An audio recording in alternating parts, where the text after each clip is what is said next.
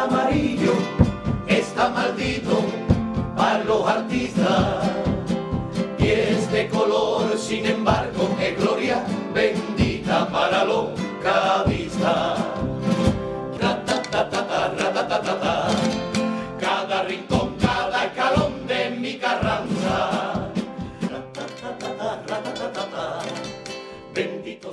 Hola, muy buenas noches. Estamos en este miércoles ya día 21 de noviembre y empezamos una nueva singladura, podemos decir, en este Cádiz Club de Fútbol de la temporada 2012-2013. Una nueva singladura con un nuevo técnico, Ramón Blanco Rodríguez. Eh, una nueva singladura para el Cádiz y también, por supuesto, para el submarino amarillo que deja a uno de sus componentes, le cede el paso, ha sido un traspaso importante, donde creo que también ha conseguido un importante lucro ahí el director del programa, que mucho tiene que ver en este traspaso. Don Antonio Díaz, muy buenas noches. Buenas noches, Hugo. ¿Ha venido con esa Estamos- vestimenta italiana? Sí, estamos más solitos, ¿eh? Ya. Sí, pero yo sé que el 10% de la, del Sí, corretaje... el traspaso, ¿no? El traspaso. Pues hoy no lo ha dado eh, el compañero, ¿eh? Hasta la una menos cuarto estuvo entrenando el equipo, ¿eh? Sí, sí, casi se nos pierde el informativo. Hemos todo, estado- todo, todo, todo ahí. Y ahí se lo advertiste ayer, Con la ¿no? prisa que, que él siempre metía a todo el mundo y ahora yo digo, vale, vale, vale, bien empezamos, le digo. Pero ayer se lo advertiste que Ayer tú... se lo advertimos y nada. Y No iba a haber paños calientes aquí. Hoy lloviendo y hasta la una menos cuarto allí. Terminó el entrenamiento a la una menos cuarto. Hemos salido allí la una y media. Un entrenamiento, Antonio, que, bueno, Pues, ¿cómo, cómo está el personal? ¿Cómo se- Eh, eso te iba a decir, empezó el entrenamiento todos en el gimnasio. Estuvieron todos allí con el físico, con Jorge Amar. Le estuvieron unos 15, 10 o 15 minutos. Salieron al terreno de juego, al número 4, arriba. Y comenzaron a trabajar todos. Pero Eso de todo, Antonio, tiene un doble sentido porque... Bueno, menos, menos los tres chavales de la cantera, Polo, Víctor Ledesma y Sergio. Sí, que Yo tiene- estaba abajo, el que le han hecho la... al que le decíamos una pronta recuperación a los tres. a los tres. Y arriba, pues la buena noticia es que Belencoso empezó a correr con zapatillas, después terminó Sí, haciendo... pero antes te decía, Antonio, lo del tema de todos, porque eh, antes algunos jugadores hacían trabajos diferenciados, uno iban al gimnasio, otro hacía... No, no, no, sí, han sido todos, va todo, estaba todo, El todo grupo, el grupo, sí, que, que a mí me gusta eso, ¿no? O sea, que es bueno que ahí lo vemos todo, había buen ambiente, eh, hombre, no gusta nunca que ese sea un entrenador, pero ellos son conscientes, son profesionales y saben que se están jugando mucho, ¿no? Y ahí, después de salir del gimnasio, estuvieron ahí con una charla con los técnicos, estaba Ramón Blanco, estaban todos los técnicos allí y ahí vemos a A la Secretaría Técnica en pleno. La Secretaría Técnica completa que estaba allí en el Rosal, sentado, y los dos técnicos, Ramón Blanco y Paco Baena, y lo bueno es que trabajaron todos, aunque Belencoso eh, comenzó corriendo después cuando ya los jugadores hacen otro trabajo específico, eh, se pone a correr carreras continuas, eh, carrera continua con zapatillas, y luego se ponen las botas de taco. Ese sea, Belencoso. sí, Eh, y Nico, Nico Varela de, hace lo mismo, pero está todo el tiempo, está con todo el tiempo está corriendo con zapatillas. Y la noticia, digamos así, desagradable es que Indiano se tiene que retirar, se retira con una en el bíceps femoral, tiene una molestia y lo ha mandado el doctor, lo vio Martínez Villar al momento que estaba allí en las instalaciones y lo ha mandado a Dadisa para que se hiciera unas pruebas pero él no sabía si se lo iba a comentar al entrenador y no, no sabía si iba a poder estar Una cosa disponible. importante, Antonio, estamos viendo. Están trabajando en el campo de césped sintético. Sí, ahí se pasaron, hubo un momento, empezaron en el campo 4 todo, pero hubo un momento que Jorge Amar, el preparador físico, mandó a todos a, para hacer un Y tiene- trabajo. tiene un porqué. Y ahí vemos, El para, parque- para no perjudicar Para preservar el, césped. el césped Exacto. natural del campo número campo, 4. sí, sí, Creo sí. que una medida que nosotros habíamos eh, hablado, que era eso de se rompía mucho el Y campo. ahí cuando vemos, ¿no? Es. Samuel que está con Belencoso, ¿no? Que está corriendo. Belencoso que hizo ese trabajo diferenciado y ya sí para otros trabajos más suaves que no castiguen tanto el césped natural se puede hacer ahí. Si tiene ese- que le- siempre Ramón hablaba aquí ¿no? de la intensidad del entrenamiento, ¿no? Y, y la verdad es que hoy yo he visto esa misma intensidad, o sea, que es fuerte, es que los jugadores, yo qué sé, entrenan con mucha intensidad, ¿no? he visto pegando muchos gritos a Ramón, ordenando muchas cosas, muchos disparos a puerta, o sea... a puerta? A, a puerta, sí, sí, sí. Hoy la verdad es que se han visto muchos goles, ¿no? y eso también, no sé, todo es positivo. Y, y, él es ahí en primer plano, mandando, hablando con los jugadores y yo lo que espero, o sea, que de verdad, que de verdad cambie todo esto, ¿no? Que es lo que más deseo a Ramón porque se lo desea todo, igual que se lo deseaba Alberto. Eh, el fútbol tiene, tiene estas cosas, ¿no? Pero... Eh, tiene una cosa negativa que es eh, la moral del equipo que está muy baja pero tiene, también tiene lo positivo que cuando llega un técnico nuevo, los futbolistas ya por, por inercia... Ellos saben que todos parten de cero, Hugo. Eso lo saben todos, incluidos los porteros. Ahí parten todo de cero y será, yo no sé qué es lo que decidirá el técnico sobre la portería, si continuará con Bernabé de momento o volverá a Ulestia, no sé lo que hará porque eso es él el que lo decide yo pienso, yo personalmente pienso que va a continuar Bernabé porque sería, yo qué sé, ¿no? Eso de decir llega y lo quita cuando ha estado en dos partidos, le han marcado un gol, ¿no? el de Albacete y, y en Carranza contra Roda Pero esa es tu opinión particular, lo que pasa que, claro, exactamente. Es mi opinión, yo no sé, el que decide el entrenador. Porque como bien dice, todos parten de cero. Lo que pasa que Dieguito, Moque y el propio Aulestia lo conoce Un año más De, que Ramón haya estado observándolo y viendo cuáles eran sus eh, cualidades. Lo que sí te digo, lo que sí te digo, he visto a un Aulestia de verdad distinto, ¿eh? trabajando, todo, lo he visto distinto. No sé por qué, ya ha hablado Ramón, ha hablado Alessandro, con o sea, no sé, he visto un Aulestia distinto, de verdad. Claro, eso, es importante, eh, para mí es muy importante, importantísimo recuperar a Ulestia a la Ulestia del año pasado. ¿eh? Eso puede ser clave para el futuro del Cádiz. ¿eh?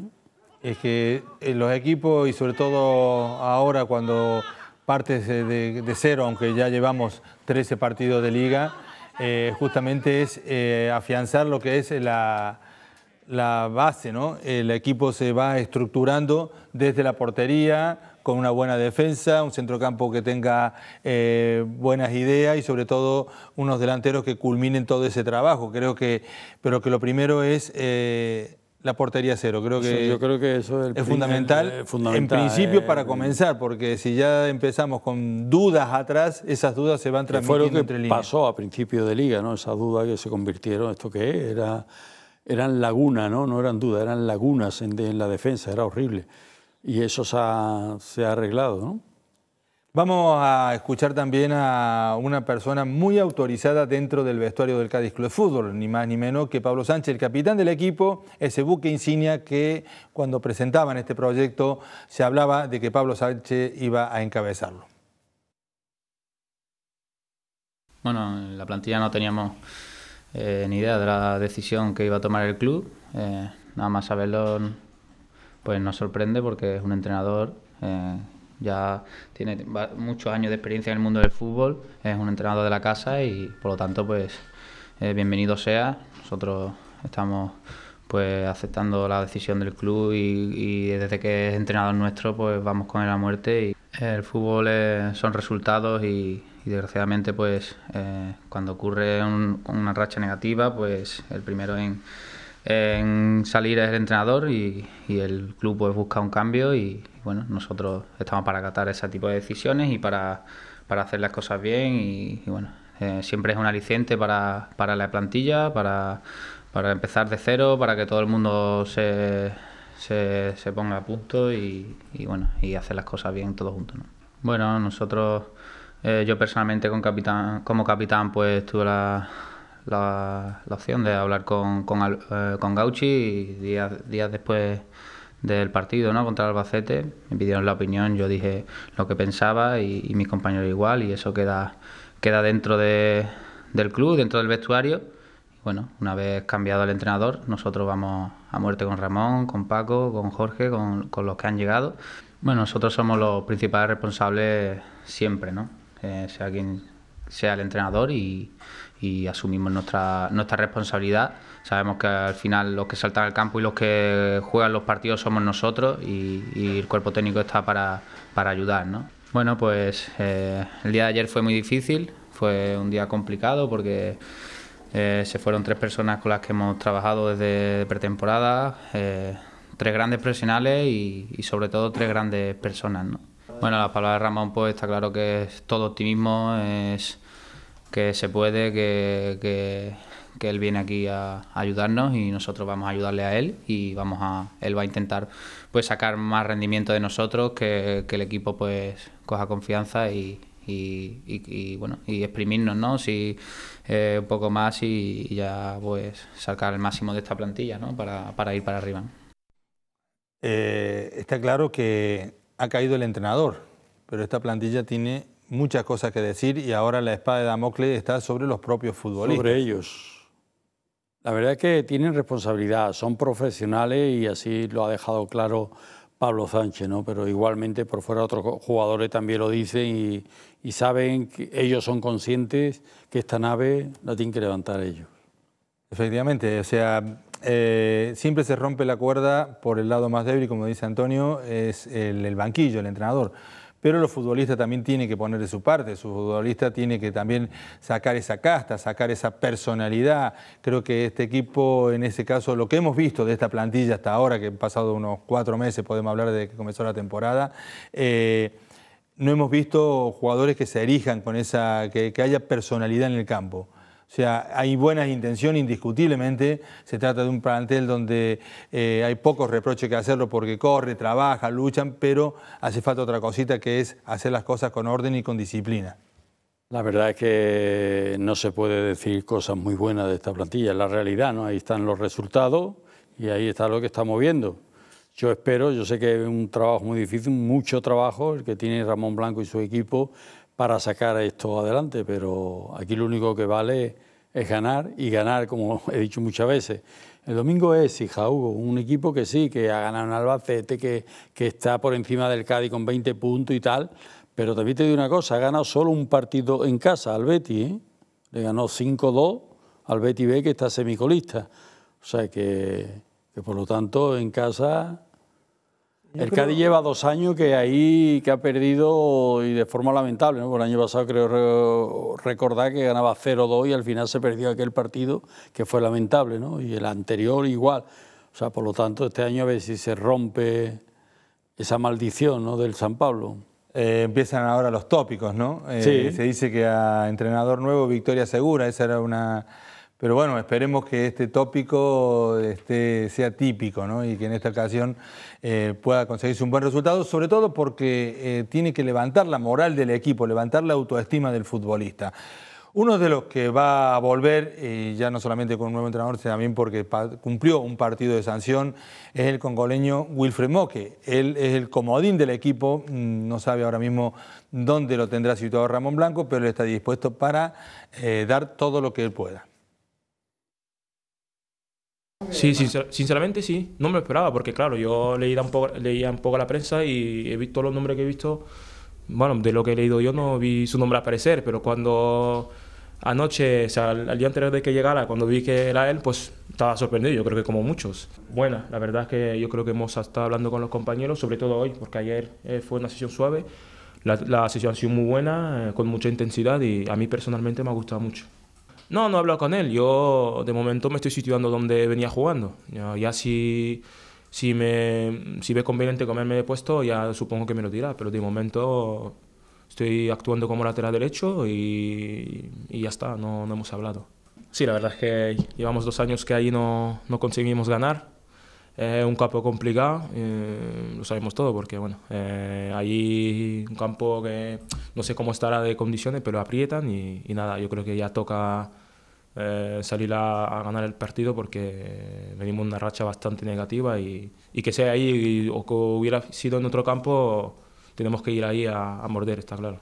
Pues no te lo puedo decir, yo creo que si lo supiéramos eh, hubiéramos resuelto eso, ¿no? Pero eh, es verdad que el equipo no, no ha dado todo lo que, lo que podía dar y eso nos ha costado un mes, digamos, ¿no? de competición porque hemos ganado, no hemos ganado ningún partido Y yo creo que sobre todo puede ser, es mi impresión, que anímicamente quizás pues eh, había algunos que estaban ya de bajón, ¿no? No, yo creo que la gente motivada está. Eh, yo creo, vamos. Lo que pasa que, bueno, pues por una cosa o por otra eh, empezamos los partidos, casi todos los partidos igual, ¿no? Excepto a partir del Albacete, pero va, va siendo perdiendo y, te, tienes la sensación de decir otra vez vamos perdiendo y tenemos que remontar y a algunos pues quizás eso le, le pesaba, ¿no? Le pesaba eh, a algunos. Él habla en una tercera persona, no se hace cargo de que estaba bajón anímico, seguramente él no lo tenía. Sí, pero... a lo mejor no lo tenía, ¿no? Y la verdad es que él lo demuestra, él no está o sea, anímicamente lo he visto yo en plan positivo, ¿no? En todos los partidos que ha jugado y cada vez que hablaba. Lo que pasa es que la imagen que daba el equipo no era, digamos, la que daba él. Bueno, hay que ver Ramón dónde lo coloca, si en el lateral derecho o en ese por delante de la defensa como No sé pivote que cuando Ramón. empezó, Habrá como que libre. Habrá que preguntarle la alineación. No lo sé, no. ¿dónde lo va a poner, no? El viernes, el viernes se lo preguntamos cuando de la lista de, de expedicionarios. Eh, hablando de lesiones, eh, Indiano se tuvo que retirar, eh, tuvo Belencoso también con algunos problemas en el ligamento de su rodilla. Eh, Nico Varela con sus problemas, también los chicos del Cádiz B, a los que, como decíamos al principio del programa, le deseamos una pronta recuperación. A Polo, a esa desafortunada lesión de Víctor, de esos ligamentos cruzados, y sobre todo también a un hombre que estaba a punto también de entrar en la primera plantilla, como es Sergio, el lateral derecho, que lo está haciendo fenomenal, las dos últimas, la la temporada pasada y en lo que va de esta, y que también había una cierta opción de que Ramón pudiera contar con él, con lo cual... O- Hugo, hablando de eso de cantera y todo, yo he visto a dos futbolistas, vamos, están entrenando habitualmente también mucho día con ellos, que es Diego, que lo mismo juega lateral izquierdo. Diego González. Sí, de lateral izquierdo, delantero centro, lo, lo está haciendo de lateral izquierdo, en los entrenamientos lo he visto situarse y mm, le he visto muchas cosas, muchísimas cosas muy buenas, la talla, en fútbol puede ser, un, yo qué sé, a mí me causa muy buena impresión ese futbolista. Ramón sigue eh, Sí. poniéndole en esa De posición. lateral. Y José Mari, cada día lo veo yo mejor, o sea, Mari García. lo he visto chocando a José Mari con, con, con Raúl Alventosa, que mide un 1,20 y tanto, y él que, y ahí chocó, vamos, lo tiró, es normal, al chocar, ya sabes, que salió, pero que no, no se arruga, ¿eh? y, y técnicamente todo lo que hace, muy bien. Hablando de lesiones, vamos también a saber el parte, en este caso, del de, eh, nuevo médico de la entidad amarilla, Miguel Ángel Martínez Villar. Doctor, de nuevo con faena en el Cádiz Club de Fútbol, ¿cómo ha sido su llegada? Pues mm, circunstancial, es decir, en este caso el médico, mi compañero Nono, eh, había dimitido y mm, el, el preparador, que yo conozco a Jorge, el preparador físico, que en el momento que estaba, estaba en el, estaba Cádiz mm, a, a instancias de la presidencia y de, y de Alex, eh, que se pusiera en contacto conmigo. Y, yo creo que estoy en el mismo caso que Ramón Blanco, que no le podemos decir que no al Cádiz. Y bueno, pues aquí estamos empezando, tengo tiempo y las condiciones laborales, fundamentalmente, que es lo que yo siempre pido en esto, han sido mm, totalmente respetadas, tanto por, por Floro como por Ale, y muy bien. Tenemos tres del BEC, uno que se rompió, que es Víctor, que se rompió el domingo. Eh, No, es que este Víctor estaba ya operado hace un año y medio, dos años, también ya lo habían operado y parece ser que, bueno, pues que se le ha roto la plastia o no, se ha roto totalmente o parcialmente. En principio, a mí la impresión que me da es que está rota y que, que posiblemente tenga que pasar por el quirófano. Y luego los otros dos, uno es un menisco externo roto, que es el de Polo, ¿no? Y el otro es Sergio, que también tiene el menisco interno. Sí, es una artroscopia. Es decir, que yo en principio a lo mejor Polo la recuperación un poquito más lenta por ser el compartimento externo y en el otro una meniscopatía interna, lo normal es que en un mes esté funcionando. Y de la primera plantilla, Belencoso, Bermúdez, Fal, Tomás. ¿cómo En está? principio todo bien, golpes, contusiones, sobrecarga, en el caso de Belén una sobrecarga en el ligamento lateral externo del domingo, yo creo que culpa del campo, el campo estaba blando porque la, el agua que ha caído ha caído para todo el mundo y al final terminó, terminó el partido bien, pero al día siguiente, por la, ya en el mismo vestuario ya comentaba eso. Y bueno, pues ya le hemos hecho los estudios pertinentes, tiene una sobrecarga de, del ligamento colateral externo y, y bueno, está ahí corriendo y está ¿Para el domingo estará? contusiones.